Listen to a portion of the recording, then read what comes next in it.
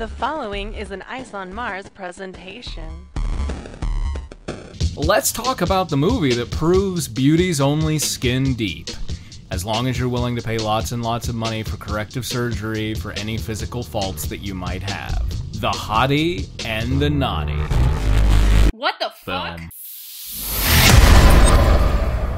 Hey everybody, this is Michael T. Bradley, And J. Wilford Neville. and we are here to talk about, I, I guess, the Paris Hilton vehicle. Is that? Vehicle. I, I mean, is that a good way to describe? Yeah, I don't know if vehicle maybe is uh, more like kind of a suppository.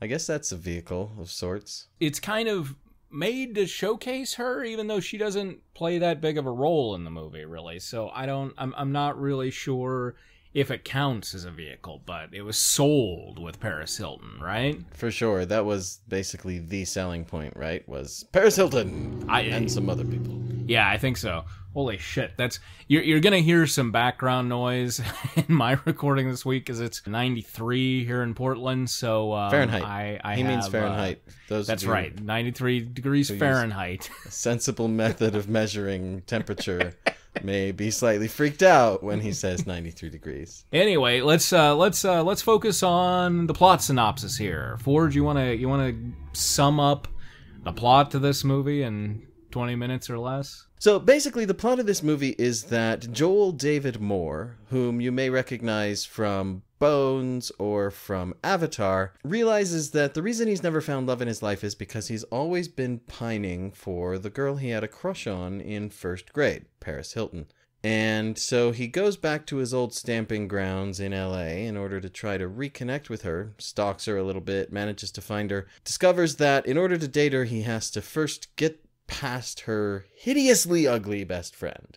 And that's basically the whole purpose of her is be ugly and to be a barrier.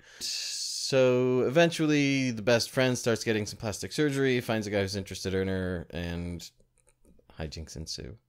Or something. Yeah. All right. Before we jump into that, let's go through our what the fuck moments. Uh, Ford, you want to start us off? Got your classic movie device of the expositional douchebag. Also fits the trope of the disgusting best friend, Yes, right? definitely. June Phigg, the hideously ugly best friend, so they claim, gets horse noises whenever she's mentioned or on screen. And dog noises. The line, "Oh, that's just my stalker." our main male character Nate is unemployed, yet he spends over thirty five hundred dollars on this woman at the, the by the thirty minute mark of the movie, which I don't have that money to throw around Right. on women. Neither do I.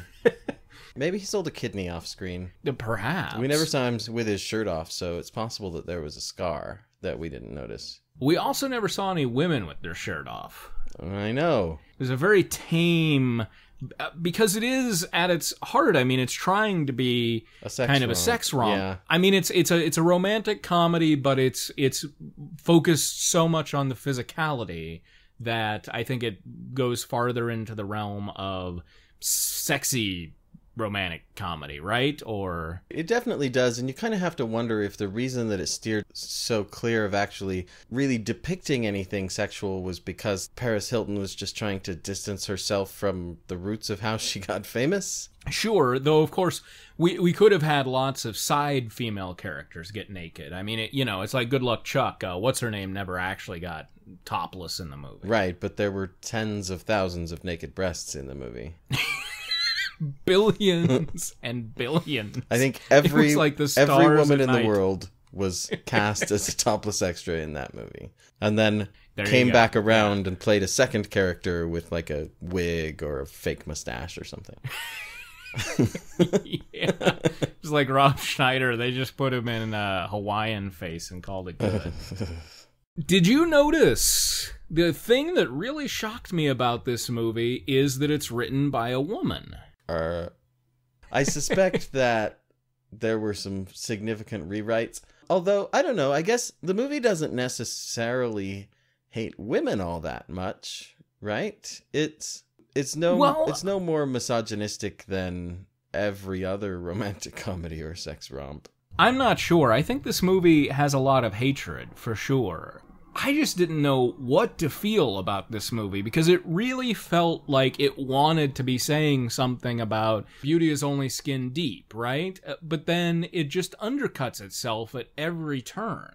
It, it seems to think that it has the opposite message to the one that it does. Yeah, and I can't imagine what the rewrite could have been that caused this. I mean, I, I guess perhaps including the plastic surgeon at all could have been the rewrite that was introduced, right? Because if if you take him out, because here's here's the big kind of like subversive thing that's in this movie that if it hadn't been so dumb would have been pretty revolutionary and awesome but the big thing is that uh, uh, nate our main character winds up falling not for paris hilton but for the naughty june Right, but not until she starts getting pretty. Not until she is indistinguishable from any other hot actress And and it's possible that the timeline there is what was is what might have been changed of like when that kind of stuff happens. But I guess it's it's not necessarily exclusive to men to hate women or to have those kinds of ideas that a woman's beauty is the only thing that's important about her.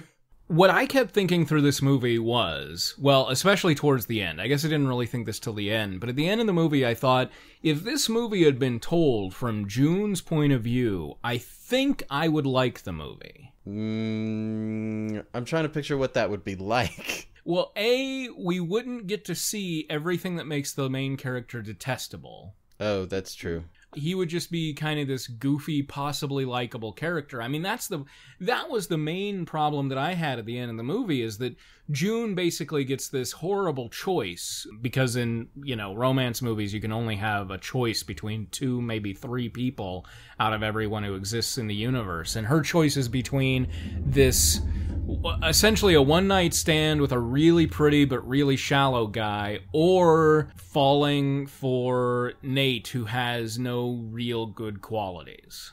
But at least Johan, the really pretty but really shallow guy, like at least he's honest about what he wants, right? He's gonna give her all this free dental work and plastic surgery, and in exchange, she will be grateful enough that she'll sleep with him, and then My thing with that is it wasn't presented like, you know, Ben Affleck and Mallrats. It wasn't like I'm using her to hurt her in some way or I'm using her to like get some horrible kinky fetish thing out of it. It was just like she's going to be grateful and I'm going to get sex out of it. And it was like, A, didn't really seem like he needed to go that route. So that was a little odd because he was, you know, perfect at everything. But B, even if that was it, so right. Well, she said like, "I want to not be a virgin anymore." Like she even wanted that herself. They they were using each other. They're both being honest about it, and that's totally fucking fine.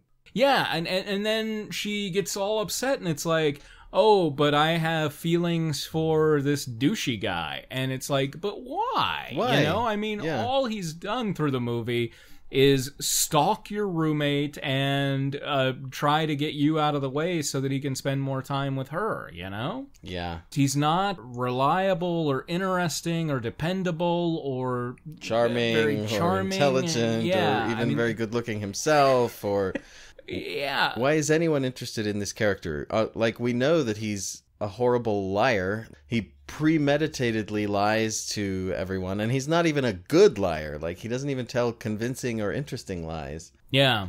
And he and his friend torture a dude. Right. That was a little weird. Yeah, suddenly in the middle of the movie we have fucking uh, uh, Clockwork Orange. Clockwork Orange sort of bullshit going on. And it's like, w- w- I- you know, that scene happened and I was like, I don't know. am I supposed to want this character to be immolated in fire by the end of this movie? It seems the only interpretation is that we actually want we're supposed to want everyone but June and Arno's mother to die. Yeah, and then June winds up with our main character, so it seems as if it's kind of a uh, a horrible, depressing ending. Yeah, that's a fate worse than death. Exactly. I I I really felt kind of torn at the end of this movie because I was like, "Oh, June finally like found somebody and she's been the most interesting character all along." Yet I hate this person. the one of the things that I wrote is like June is the only person in this movie I don't hate. And I guess what's his name? Johan or whatever. I mean, he just like I, I wouldn't necessarily want to hang out with him, but I don't think I hate him. Right. You know, he's just kind of this good-looking guy who's perfect at everything, you know? Yeah. He's one of those guys that you want to hate him, but he's probably too nice to actually hate. I knew one of those guys. Yeah. and he's, you know, he's he's probably got some secret, you know, like maybe he skins children or something, but but that never comes up in the course of the movie. yeah, that's not that's not canon. And something I really wondered about the end of the movie is that okay, so June has now gotten like microdermabrasion and dental work, and her face is very, very pretty. But I wondered, like, does she still have the back knee and like the kind of uh, weird hair and everything? And like, is he gonna get home with her? Take her shirt off, and then suddenly there are horse noises, and he's like, "Oh God, what did I do?" Because he is so fucking shallow. That's a good question. I think we got a pitch for Hottie and the Naughty 2 right here is what we have. Is it the naughty and the naughty? Speaking of which, how can you have a movie called The Hottie and the Nottie, and the naughty is not spelled N A U G H T Y? Oh, that's number two. The Hottie, H A U G H T Y. Right. The Hottie. Yeah, And the Naughty. the sequel is, is The Hottie and the Naughty. Right, right. And it's about uh, some chick who's stuck up and some chick who's a kinky bitch. You know, I mean, that's. And it turns out that that's they're the the, way you go. same girl in a wig. Right. Yeah. Why are So- we writing movies? We really should be. so the ending felt like it was trying to be very progressive, right? It felt like it was trying to make this statement. The other place in the movie where it felt like it was trying to make a statement and it just came across as what the fuck is going on here was Paris Hilton's character pretends to be really fucked up and drunk at this party where she and Nate are supposedly going to have sex for the first time. And she pretends to be drunk and pretends to fart a lot in front of him. Right. And then afterwards, she's like, Oh, well, you didn't judge me, so you're not here just for my looks. What were they trying to say there? Yeah, I wh- what the fuck was the point of that? Because it was like, well, if he had been like kind of like uh I mean, isn't that I wouldn't that be like understandable? Like wouldn't it be like I don't really like I'm not really turned on by you like drunkenly accusing me of things and farting all over the place. Like does that really say that he's not shallow? I guess maybe that was what they were trying to do there was they were trying to redeem his character by showing that he will overlook a small amount of flatulence if he thinks a chick is hot enough. But it's like that exactly. That's what it comes across as is like I'm not going to be bothered by this because you're hot. It doesn't feel as if like I'm not shallow, you know? because there was not really any point in the movie where June was an unpleasant person and yet because she wasn't hot, he was totally repulsed by her. That whole scene, I think it was meant to be this like oh, you know, look at how progressive Paris Hilton is like testing him out and shit and he just seems like oblivious to what's going on the entire time. It's like he's just like uh what the hell is going on? Oh well, anyway, you Anyway. know? Um Let's do it. it's like it doesn't affect him because he's just blithely waiting for the sex. That that that doesn't really prove that he isn't shallow. This movie has to be the most shallow thing I've ever watched, I think. Yeah, yeah. It's the most shallow movie I've ever seen for sure. and there's not just I have seen porn that was far less shallow. had better writing. There's not just like the pretty privilege, you know, the the ugly people hatred. There's also like old people hatred. There's hatred. There's there's also ageism. For instance, when Arno's mom mentions that she had a bikini wax done, it's like, wah, wah, someone over 40 with a bikini wax. Gross. That's probably what they wrote in the script as directions to the person who was writing the score. It's like, this Yeah, is what we want the music here. to say. they also took a big old shit on albinos. that was fucking weird. Like I didn't know what to feel about that because I don't even know what like albino stereotypes are. Uh, that So albinos are creepy and evil. That's the stereotype around albinos. And so, of Ah, course, okay, the stalker yes. guy is is Yeah. albino a Is that an insensitive term? I don't know. Do they prefer really white people? I don't know. I, it's. I still say little person sounds more derogatory than midget, so I'm not the person to ask here. I am not the fucking go-to authority on on this at all. But yeah, it really I would think that it would only be like a bad stereotype if he were like committing assassinations cuz that's how albinos always show up in movies is as like secret assassins. Hmm. Yeah, so you mentioned the whole exposition douchebag. Right. He, Arno, his best friend, has a file on Cristabel. Christ- Cristabel. Yeah, yeah. How fucking creepy is that? and it's not just a file, it's a whole like documents box. Everything about that character.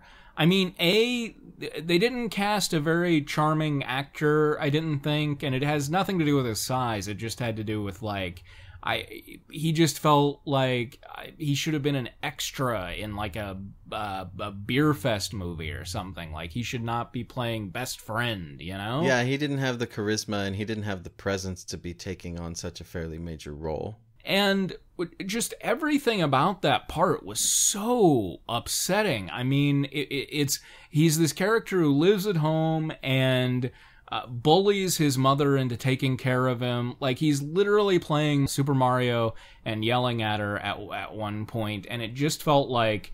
I, I mean, I guess it's that we're supposed to find it funny because it's so pathetic, but it really just felt like I wanted to reach through the TV screen and stab him in the eyes. That character was pretty terrible, and there was a moment shortly after we first met him when he was describing June and he's like doing all of this pantomime and acting as though she's a dragon and he's breathing fire and like they actually put that moment in the trailer but mm-hmm. it was not even a tiny bit funny. Even even if you're the kind of person who finds ugly people funny and finds describing how ugly a person is funny Yeah. it just totally fell flat I well, I would say that's true about damn near everything in this movie, right? Yeah. And the the funny thing is that the pacing of it is sort of done as though they expected to put a laugh track in. After the characters say something or something happens that we're obviously supposed to think is funny and the music goes everyone pauses for a moment to wait for the laughter to subside before the movie begins again cuz obviously we're going to be cracking up. Maybe they thought they were filming a pilot for a sitcom or something. Well, I did a little bit of research, and Heidi Ferrer, who wrote this movie, also wrote a couple episodes of Dawson's Creek. Wait, was that a laugh track sitcom? Okay. I can't remember. No, it was not. I prefer to remember it that way. And the character who played June uh, was in Step by Step. Mmm, there's a conspiracy here, and I will root it out! Speaking of the acting, I, I was kind of shocked. I, I didn't think Paris Hilton did a bad job. I mean, she had to play kind of a vapid, distant, pretty girl, and I thought she did perfectly fine at that. I don't think she uh, had to play that. That's just what she can do. I think Yeah, that but it- we were supposed to like her. I think that we were supposed to think she was not just hot. We weren't supposed to think that she was a reprehensible person. We were supposed to actually like her, I believe. Yeah, I, I kind of came out of this movie being okay with both of the girls. It's just, it's like, and, and Johan, or whatever the hell his name was, I was okay with him. It's just our main character and his best friend and the guy that they torture, all of them were like on my shit list. Yeah, well, and not just them, like practically every man in the movie. Like they've gone to rent a, a sailboat for the day, and the guy who's supposed to pilot it comes out, takes one look at June, and turns around and literally runs back up the dock, saying, You'll have to get yourself another skipper. She's so Oh, that's right, that's right. that he has to run I- away. It, it was disheartening, to say the least. It it was not just him either. It was virtually every male character until Johan comes all comes along and starts helping June to become pretty again. Again? Yeah, Johan. I I don't know. Johan really does seem to be kind of the uh, the unsung hero of this movie. I mean, he's awesome at everything, and he helps bring her out of her shell. And I guess Nate uh, kind of does too, but that really doesn't make any sense as to why. Uh, June in this movie reminded me a lot of like I really thought she could have been played by Janeane Garofalo really well, though I guess uh, probably by the time this is made, Janeane Garofalo is maybe a little too young. And then I was like, but that wouldn't have worked because Janeane Garofalo is so just naturally hot and everything. But obviously this girl is too, and they had to just put her in makeup. And then I started thinking, they made that movie. Do you remember that? I think it's The Truth About Cats and Dogs, where Oh, yeah. Janeane Garofalo plays the naughty and Uma Thurman is the hottie. Oh yeah, they totally made that movie. That's probably why you made that connection. and it's like I remember the ads for that movie where like they portray it as like she's the ugly step friend, and I'm like, boy, do they not understand my sexuality. Uh, this movie did have another one of our favorite tropes from your romantic comedies, the random Uh, musical number. that?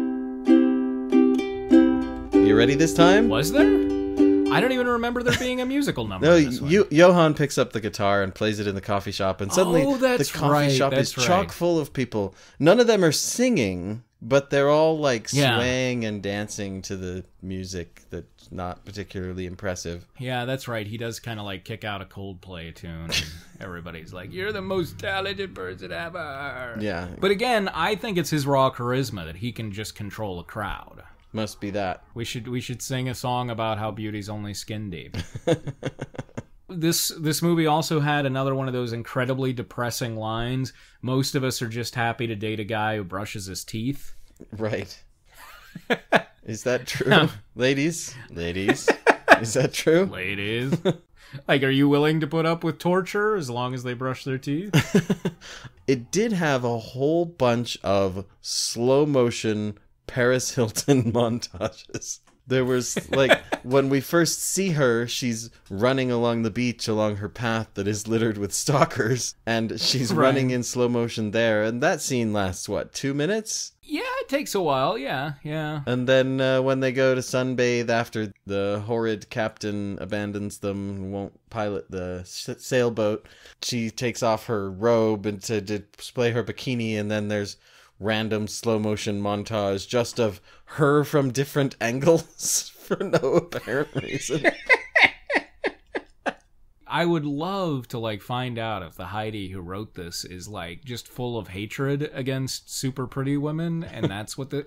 But she, but but Paris Hilton's character did end up being fairly oh, what's it, sympathetic, you know? Right. Um, she wasn't terrible. I I know that like the slow mo Paris Hilton running, I'm like I'm thinking I'm supposed to feel like turned on here, but mostly I was just like, God, she's got really good form. She obviously works out a lot. You know what I was like I wish I could run like was even when moving in slow motion and her hair blowing in the wind and her breasts jiggling in slow motion and stuff, she seemed so wooden to me.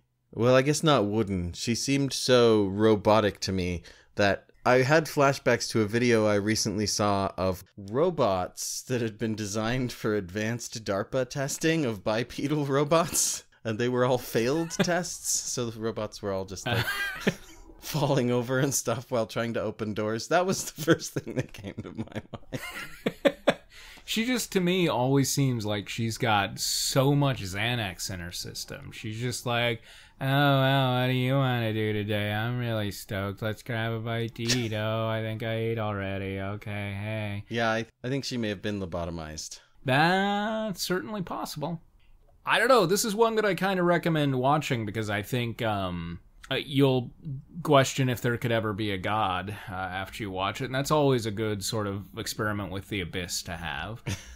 Looking at it now in hindsight, Wilford, uh, if you could change one thing about this movie, what would it be? What I would have happen is basically like I was sort of this sort of I sort of hit on this earlier. Change the timeline. Like in order to make the main character not reprehensible, what would need to happen is for June to disappear, to have her hair fixed and her teeth fixed and cosmetic surgery and stuff, and I guess her hair lasered off and everything, and for him to realize while she is away, having last seen her in her pupil state, to then realize that he loves her and then have her come back beautiful. If she's going to have to become beautiful. Right? So right, that so that okay, so that okay, he yeah. can have he can have some decency in him and have realized that he really does care for her, and then his reward to be that she now conforms to his standard of beauty, and possibly better yet to like in the last five seconds before it goes to credits, throw in a little hint that somebody may have hypnotized him using electrodes on his head the same way that he did to Cole Slauman. Okay, and, and while you were talking about that, that made me think of a point that I was going to bring up earlier because I was thinking of my answer, and my answer is that most likely I, I would have made it from June's point of view, or else I would have made it so that June doesn't get prettified, and we have the same sort of basic plot progression. The thing I was thinking is if she doesn't get prettified, we have to take Johan or whatever the hell his name is out of the picture. And what if she were matched up with the best friend, you know, in the same way that the best friend was supposed to have sex with the horribly obese, ugly woman in Good Luck Chuck, he does the same thing here and hooks his best friend up with her, right? And and while I was thinking of that, it reminded me of did you find it odd that the best friend who is creepy stalker guy number 75 in this movie doesn't seem to have any libido whatsoever? He's just Jack's obsessive compulsion. Yeah, I mean, he has like there are never any jokes about him say watching porn or anything. It's it's not even clear why he keeps a file on this one. Right, he's clearly been creeper stalking Cristabel himself, and so why would he turn that information over to his friend he hasn't seen since the first grade? And speaking of which, like I believe that all of the characters in this movie, like when we smash cut from first grade to adulthood, I think that the characters did the same thing. I think that they did not form any new memories or have any other experiences in the intervening period. That is very possible. It does seem to kind of be somebody off screen handed them a script or whatever and it was like go. It's the only it's the only frame of reference that the characters have. The they only reference things that happened in the first grade or during the movie. But so I don't I don't get his best friend like at all because it's like you know wouldn't the way to have written him be like him talking about like jacking off and wanting to like fuck Cristabel all the time but no instead he's just perfectly happy to play Mario Brothers while he has a fucking file on this woman.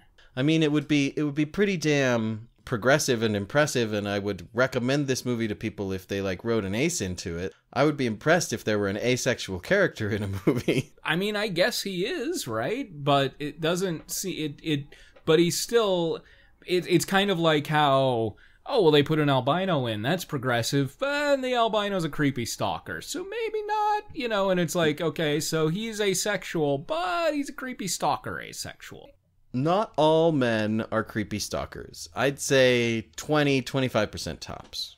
Uh, aren't right yeah Uh, I th- so I think for me, I I would have I would have either done I I would have done the movie from June's point of view, and like at the end of the movie, she would have just run the hell away, or maybe she gets Paris Hilton, Ooh. And Yeah. that's how the movie ends. Yeah, that would be good actually, because like they're roommates. They've been best friends since first grade at least, and June has obviously, in most instances, driven men away from Paris, right? Because that guy comes up to hit on her in the bar, and mm-hmm. she just totally eviscerates and emasculates him, and so like she's obviously been running that interference. It would be an interesting twist for the reason that they've been that way is because they've never really been able to admit to themselves or one another or the world that they were in love. There you go. I mean, it, it all the pieces seem to fit. All right, we need to write movies. We should start our own movie studio. We should. I I actually have a I have some friends in the biz. Maybe we can uh maybe we can get some hooked up connections here and be like, we got the hottie and the naughty too. It's in the works. the hottie and the naughty. I actually have two scripts. Um oh, did I tell you I have an idea for a rom com now? it's called The Morning After Friend. The morning after friend. Is this like basically a feature length ad for Plan B? I like that idea, but no, it's it's more about oh god, I, I'm not gonna go into it. All right, send me a script. I'll but- read it. I'll send it to my agent. We'll talk. but the but the cover is going to have two people kind of looking distantly in clouds and um, kind of confused and or dyspeptic and the script for the title um, is going to be very curly cued with lots of serifs Okay. Curly cute serif font. Is this as far as you've gotten? maybe maybe but um uh but so far it's brilliant. Um, yeah. All right cool. Uh feel free to send us your feedback uh, thoughts questions donations to info at iceonmars.net for now this is michael t. Bradley. And J. Wilford Neville. have a good one. I actually found the ideal version of this movie, which is there is a version that is the second hit when you search for this movie on YouTube that is the Hottie and the Nottie Paris cut, in which every shot that does not have Paris and Hilton in it has been cut out. So it's often just a smash cut from one of her lines to the next of her lines without the other line in between getting in the way. Uh, it's kind of disjointed and crazy, and I highly recommend that you watch it. You have been listening to Ice on Mars. Beauty's old as skin deep. Yeah, yeah, yeah. I don't know any songs about beauty. It would probably be about how like it's ephemeral and everyone dies alone. Get some plastic surgery from a rich guy.